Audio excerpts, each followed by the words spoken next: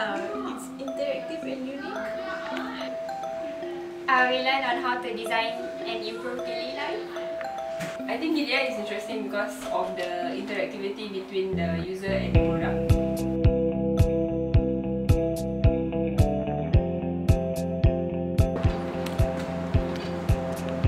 Learn to be creative.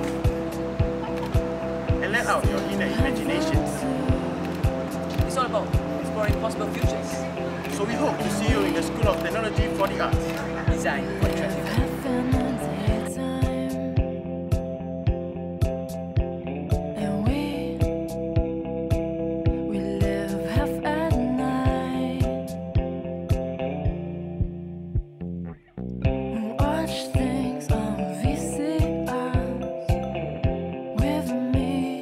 You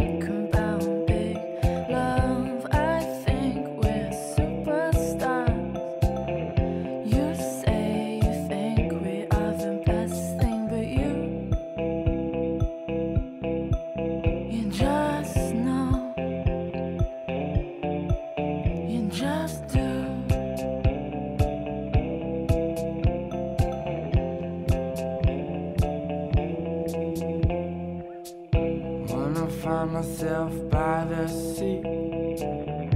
In another's company By the sea. Wanna go out to the pier